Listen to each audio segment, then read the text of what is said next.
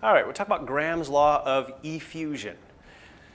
And before we talk about Graham's law of effusion, we got to understand what is effusion. So what is effusion?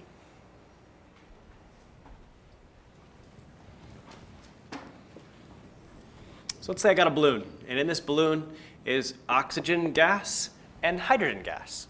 So let's say I just took a needle and I stabbed the balloon. What's going to happen? So true, but what's it going to look like when I stab that balloon? Anybody ever stabbed a balloon before? It's going to pop. It's going to pop. But let's say instead I took a piece of scotch tape and put it on the balloon. And then I very gently pressed the needle right through the scotch tape. It doesn't pop. The scotch tape holds the balloon together in the area where you pierced it. And so it just pokes a hole. You pull the needle back out and you got a hole. And because you have a hole, now the gases will start escaping. Effusion is the process of a gas passing through a narrow slit. It doesn't have to be out of a balloon. It could just be going from, you know, on one side of a wall to the other side of a wall or something like that. But when a gas passes through a narrow slit, that's called effusion. Cool. Graham's law of effusion allows us to compare two gases escaping through that narrow slit, which one escapes faster and how much faster it escapes. So anybody remember the general principle? Which one of these gases will escape faster? Hydrogen definitely escapes faster. Why? Because it's lighter. Because it's lighter, what's true? It moves faster on average. And if it moves faster on average, then it's going to escape faster on average. So let's see where this comes from. So the one thing about kinetic molecular theory we didn't talk about at the end, but that I'll bring up now, is that it turns out that the kinetic energy of a gas, the average kinetic energy of the molecules of a gas, is proportional to temperature. There's an equation for it. Don't worry about it. And so here's the deal. If two gases, and this doesn't matter what the gas is, it's proportional to temperature. So if you have two gases in the same balloon, well, if they're in the same balloon, then you can assume they have the same overall temperature. And if they have the same overall temperature, then they have the same kinetic energy. And so if we look at this, what's the formula for kinetic energy? Anybody know from physics? 1 half mv squared, maybe? So if you look then, what this would mean in this case is 1 half MO2 VO2 squared equals 1 half mh2 vh2 squared. And technically, if this is average kinetic energy, notice not all molecules move the same speed. Some are faster, some are slower, and we can use their overall average velocity to come out with an average kinetic energy. And so the velocities here are averages, so of all the molecules in that sample of gas. Well, I can cancel out the 1 halves right off the bat. So, and in this case, if we rearrange this a little bit, so I can get mass of O2 over mass of H2 equals velocity of H2 squared over velocity of O2 squared. And then if I take the square root of both sides, I get velocity of H2 over velocity of O2 is equal to the square root of the mass of O2 over the mass of H2. And this is kind of where Graham's law of effusion is derived from. It turns out the rate of effusion is proportional to the velocity. And so Graham's law of effusion takes this one step further and says that the rate of effusion for H2 divided by the rate of effusion for O2 is equal to the square root of the molar mass of O2 over the molar mass of H2. And so notice it's rate of one gas over rate of a second gas, but it's molar mass of the second gas over the molar mass of the first gas. This would be the relevant equation we're going to use to compare the rates of effusion. And usually the calculation you're going to do doesn't actually calculate either rate independently. It usually just calculates this as a ratio. And so in this case, that's my question. If you start out with equal amounts, equal number of moles of O2 and H2 in this balloon, the question is which one escapes faster? Thomas already told us it's the lighter one.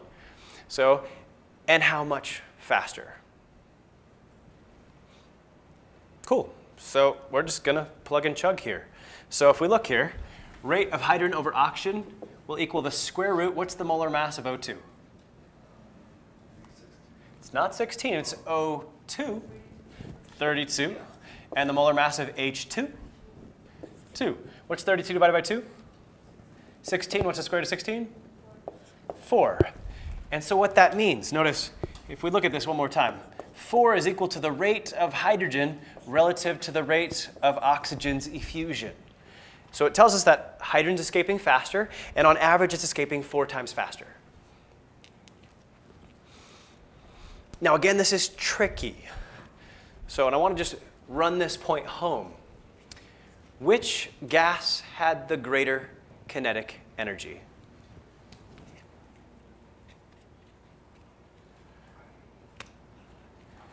Notice kinetic energy is the energy of motion, and here's where things get confusing. Because they both had the same temperature, what was true again? They had the same kinetic energy. So their kinetic energies are exactly the same, no difference there. But even though kinetic energy is the energy of motion, they have the same kinetic energy but do not have the same average velocity. So the average velocities are indeed different, and the lighter gas has a higher average velocity because they have the same kinetic energy. Think about it this way. If you took a Volkswagen engine and put it in a Volkswagen, and then you took the same Volkswagen engine and put it in a semi, which Volkswagen engine has more power? The same engine, same power. And supplying the same power, they will supply the same energy to either vehicle. But giving the same amount of energy to a Volkswagen and the same amount of energy to a semi, which one's going to have a higher velocity? The Volkswagen. It's lighter. It'll go faster. Same energy, in this case, two gases at the same temperature, same kinetic energy, but the lighter one with the same energy will move faster. It'll have a higher velocity. Cool. Now this is Graham's law of effusion, but you can also apply this to diffusion.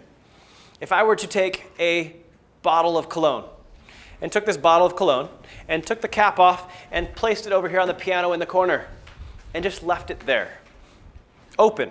Pretty soon, everybody would what? Smell the cologne. So what is diffusion?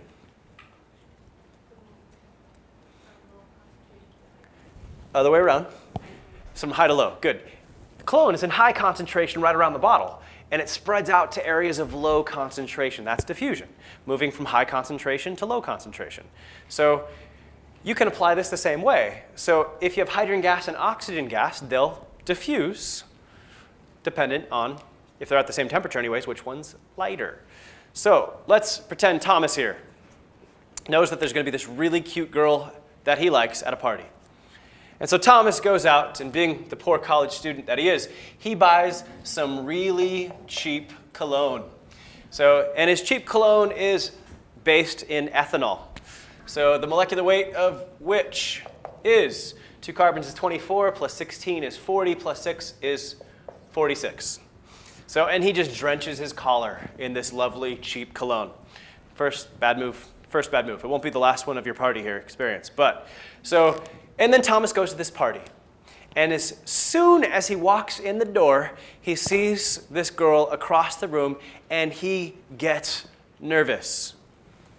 And he just lets a little bit of flatulence go in his nervousness, the principal component of which is methane gas, the molecular weight of which is 16. And so my question for you is across the room, the cute girl, which, what will she smell first? His cheap cologne or his flatulence? Yeah, she's to smell his fart first. That's right. Sweet. Thanks for putting it plainly, Bree. So, sweet. It's lighter and will therefore have a higher average velocity. Awesome. Thanks, Thomas. Not a good move. Okay, so let's just get real for a minute. Terrible joke of the chapter. And talk about real gases. so, ideal gases. Ideal gases don't have attractive forces between molecules. So, which, by the way, another way to state that is you could say that all collisions are elastic. So if you're a physics buff, that might mean something, but saying all collisions between molecules are elastic is the same thing. It means the same thing ultimately that there are no attractive forces between the molecules. So, and ideal gases, the molecules don't really take up any volume either. For real gases, though, real gases is now trying to approximate reality. We now know that those assumptions are never 100% correct. And for real gases, we're going to try to account for that. So, and this gets a lot more complex in a hurry, right? So the only equation you guys typically get are given for real gases is the van der Waals equation, the van der Waals equation. So in this case, you get P plus a n squared over v squared times v minus nb equals nRT. You don't have to memorize this equation. It'll be given to you on the front of your exam. And you probably, in all likelihood, won't even have to plug in chug with this thing. So they're probably not going to have you do a calculation with this either. So don't be prepared for like doing some ugly algebra equation or anything like that. It's probably not going to happen. What you do have to know is a couple of things about how this tries to better approximate reality than PV equals nRT. So if you look, so N still represents moles of gas and V is still volume, and you see all these things, but A and B are called the van der Waals constants, the van der Waals constants. So, and in this case, this term right here and this term right here, these are the corrections for the assumptions that were never true for an ideal gas. If you look, let's say I discovered the world's first truly ideal gas. The world's first truly ideal gas. And I called it chadium because I'm vain like that. So chadium, the world's first truly ideal gas. My questions for you, what would be the values of the van der Waals constants for chadium?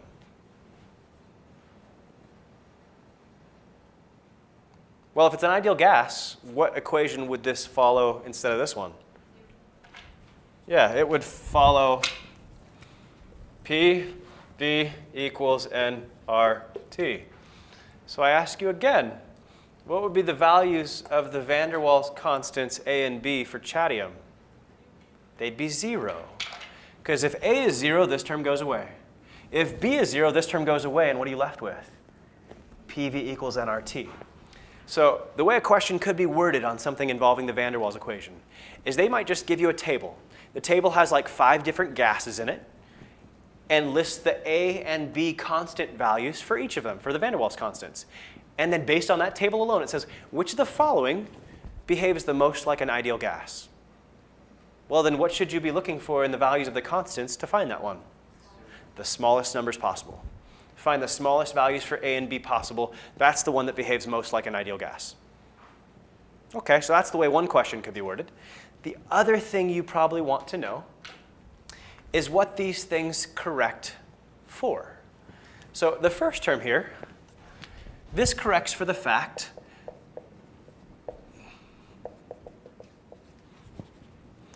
that molecules really do have attractive forces between each other. Ideal gas law, you know, the ideal gas assumption says they don't. This is a real gas law, though. It says they do have attractive forces. This is trying to account for those. The second term, so minus NB here, this tries to account for the fact that the other ideal gas assumption is never 100% true, which means that gas molecules really have volume. I'll call that molecular volume in this case. So, and there's our two corrections. We don't make any assumptions anymore. They have attractive forces, the molecules, and the molecules do take up volume. No assumptions made. Trying to approximate reality a little bit better than PV equals nRT. Cool. So know what each of these terms corrects for, and then know that the smaller the constant values, the more like an ideal gas that particular gas behaves.